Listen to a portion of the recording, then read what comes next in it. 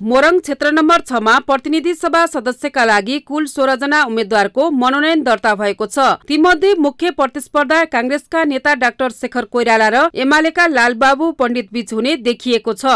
दुई हजार चौहत्तर सालमा सम्पन्न निर्वाचनमा छ सय पचहत्तर मतले एमालेका नेता पण्डितसँग हार बेहोर्नुभएका काङ्ग्रेस नेता कोइराला यसपटक पुनः एमालेका पण्डितसँग प्रतिस्पर्धामा हुनुहुन्छ। पार्टीमा आन्तरिक द्वन्द र असन्तुष्टि पण्डितको चुलिएको लोकप्रियता जस्ता कारणले निर्वाचन परिणाम त्यसबेला कोइरालाको पक्षमा रहेन। यसपटक भने दुवै उम्मेद्वार मतदाता आफ्नो पक्षमा पार्न खटिरहनु भएको छ। समुदायमाझ पुगेर उहाँहरू विभिन्न एजेन्डा प्रस्तुत गर्दै चुनावी प्रतिबद्धता जनाइरहनु भएको छ। काङ्ग्रेसभित्र पहिले जस्तो असन्तुष्टि नहुनु अनि गठबन्धनमा आबद्ध दलको समेत सहयोगमा निर्वाचन परिणाम आफ्नो पक्षमा हुने कोइराला पक्षको बुझाइ छ। पहिले एक्लै चुनावी मैदानमा होमिने उद्घोष गरेको एमालेसँग अन्तिम समयमा आएर जनता समाजवादी पार्टीले तालमेल गरेकाले पण्डित पनि विजयी हुनेमा उत्तिकै आशावादी देखिनु भएको छ। पण्डित यसअघि दुई हजार अडचालिस र दुई हजार छपन्नको आम चुनावमा मोरङ क्षेत्र नम्बर तीनबाट प्रतिनिधि सभामा विजयी हुनुभएको थियो। दुई हजार चौसठीको पहिलो संविधान सभा निर्वाचनमा तत्कालीन मधेसी जनअधिकार फोरमका अध्यक्ष विजय कुमार गच्छदारसँग पराजित हुनुभएका काङ्ग्रेस नेता कोइराला त्यही निर्वाचनको उपचुनावमा उहाँ फोरम लोकतान्त्रिकका चुमनारायण दबदारलाई पराजित गरेर संविधान सभा सदस्य हुनुभएको थियो। संविधान सभाको दोस्रो निर्वाचन दुई हजार सत्तरीमा पनि उहाँ विजयी हुनुभएको थियो। दुई हजार चौहत्तरको चुनावमा पार्टीभित्रको राजनीतिक द्वन्द्वको असरले एमालेका पण्डितसँग पराजित भएपछि भने पार्टी राजनीतिको आन्तरिक प्रतिस्पर्धामा मात्रै नभई समग्र राष्ट्रिय राजनीतिमा नै उहाँको भूमिका खुम्चिएको थियो। तर पार्टीको चौधौ महाधिवेशनपछि भने उहाँको भूमिका फेरिएको छ। पार्टीभित्र संस्थापनेतर पक्षका प्रभावशाली नेताका रूपमा स्थापित कोइरालाको भूमिका पछिल्ला दिन अलि फराकिलो बनेको छ।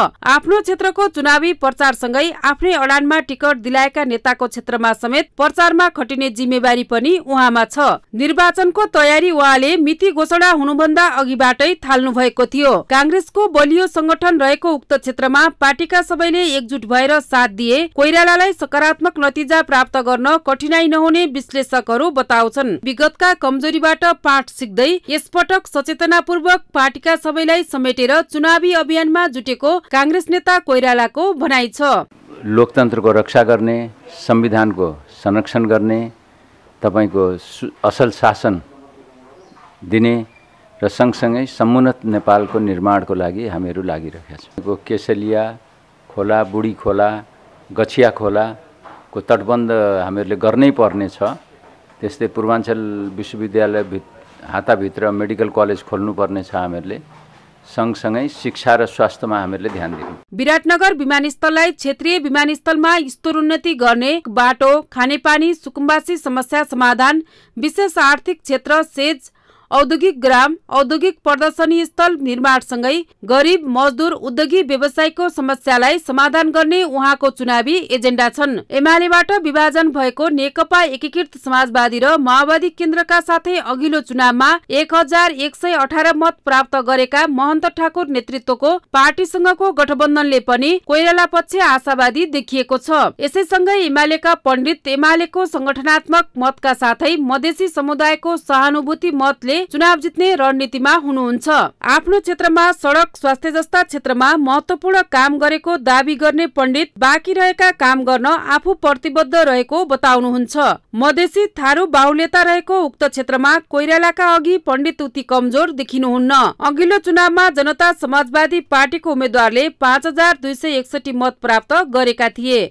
पार्टी कार्यकर्तामा लोकप्रिय पण्डित मधेसी समुदायका आदर्श पात्र भनेर चिनिने उहाँले आफूले सुरु गरेको विकास योजना पुनः निर्वाचित भएर पूरा गर्ने एजेन्डा लिएर मतदातामा चुनावी प्रचारमा होमिनु भएको छ।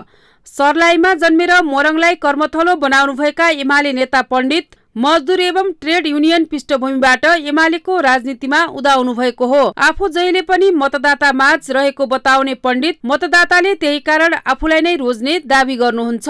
काम गरेर देखाएका व्यक्तित्व किन नहोस् चाहे नेतृत्व किन नहोस् सबैको विश्वास जितेको हुनाले गर्दा यसपटक यो चुनावी महाअभियानमा विजय यात्रामा आफ्नो उम्मेदवार उतारेको स्थानीय तह निर्वाचनमा उक्त क्षेत्रमा पर्ने पालिकाहरूको एक्काइसवटा वडामा वडाध्यक्षहरूले प्राप्त गरेको मत संख्यामा काङ्ग्रेस अघि छ। सातवटा वडा रहेको बुढीगंगा गाउँपालिकाको अध्यक्ष उपाध्यक्ष सहित चारवटा वडा अध्यक्ष काङ्ग्रेस एउटा एमाले दुईवटा माओवादी केन्द्रले जितेको छ। सुन्दर हरेचाको छवटा वडा मध्ये तीनवटा काङ्ग्रेस दुईवटा एमाले र एउटा स्वतन्त्रले र विराटनगरको सातवटा वडा मध्ये चारवटा काङ्ग्रेस दुईवटा एमाले र एउटा जनता समाजवादी पार्टीले जितेको छ। वडा अध्यक्षका उम्मेद्वारहरूले प्राप्त गरेको मतका आधारमा काङ्ग्रेसले अठाइस हजार चार सय अठाइस एमाले पच्चिस हजार दुई सय छत्तिस माओवादी केन्द्रले पाँच हजार तिन सय छप्पन्न मत पाएका थिए। यसै गरी जनता समाजवादी पार्टीले तीन हजार सात सय पैतिस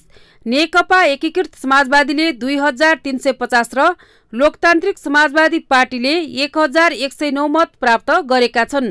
सत्तारूढ गठबन्धन दल काङ्ग्रेस माओवादी एकीकृत समाजवादी र लोकतान्त्रिक समाजवादीका वडा अध्यक्षका उम्मेद्वारहरूले प्राप्त गरेको मत सैतिस हजार दुई सय त्रिचालिस थियो। विपक्षी गठबन्धन एमाले र जनता समाजवादीले गरी कुल अठाइस हजार नौ सय एकहत्तर मत प्राप्त गरेका थिए। बागमती टेलिभिजनका लागि ब्युरो रिपोर्ट विराटनगर।